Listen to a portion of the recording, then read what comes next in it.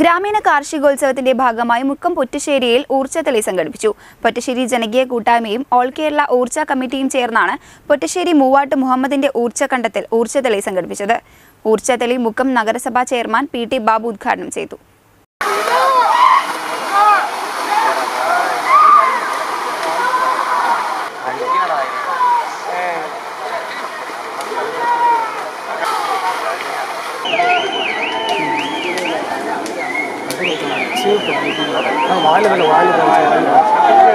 കാർഷിക സംസ്കൃതിയിൽ നിന്നും അന്യം നിന്നു പോകുന്ന ഊർച്ചയെ പുതുതലമുറയ്ക്ക് പരിചയപ്പെടുത്തുക എന്ന ലക്ഷ്യത്തോടെയാണ് പൊറ്റശ്ശേരി ജനകീയ കൂട്ടായ്മയും ഓൾ കേരള ഊർജ കമ്മിറ്റിയും ചേർന്ന് പൊറ്റശ്ശേരി പൂവാട്ട് മുഹമ്മദ് ഊർജക്കണ്ടത്തിൽ ഊർജത്തെളി സംഘടിപ്പിച്ചത്. കോഴിക്കോട് മലപ്പുറം ജില്ലകളിൽ നിന്നായി ഇരുപതോളം ജോഡി കന്നുകൾ ഊർജത്തെളിയിൽ പങ്കെടുത്തു.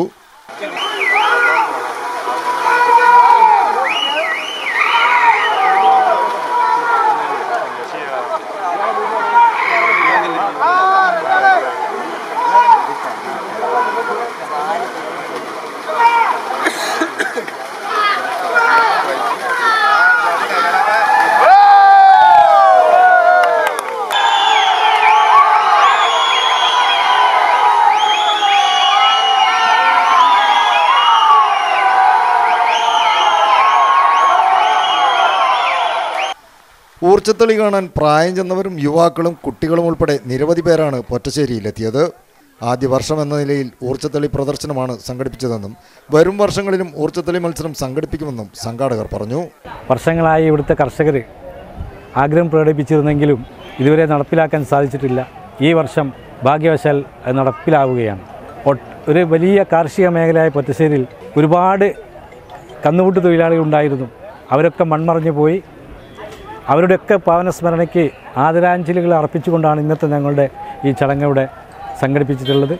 ആ അന്യമായിക്കൊണ്ടിരിക്കുന്ന കാർഷിക മേഖലയും കന്നുമുട്ട് പരിപാടികളെല്ലാം തന്നെ തിരിച്ചു കൊണ്ടുവരിക പുതിയ തലമുറയ്ക്ക് പരിചയപ്പെടുത്തുക എന്ന ലക്ഷ്യത്തോടു കൂടിയാണ് ഞങ്ങൾ ഈ ഇത് സംഘടിപ്പിച്ചിട്ടുള്ളത്. ഊർജത്തെളിയുടെ ഉദ്ഘാടനം മുക്ക നഗരസഭാ ചെയർമാൻ പി ടി ബാബു നിർവഹിച്ചു. സ്വാഗത സംഘം ചെയർമാൻ എം മധുമാസ്റ്റർ അധ്യക്ഷനായി. പൂർവകാല കന്നുപൂട്ടുകാരെ ചടങ്ങിൽ ആദരിച്ചു. Okay.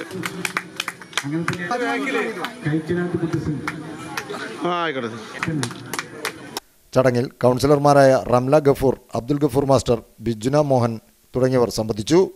Muhammad Ambalathingal K T Abdurahman തുടങ്ങിയവർ പരിപാടിക്ക് നേതൃത്വം നൽകി. News bureau Mukkam.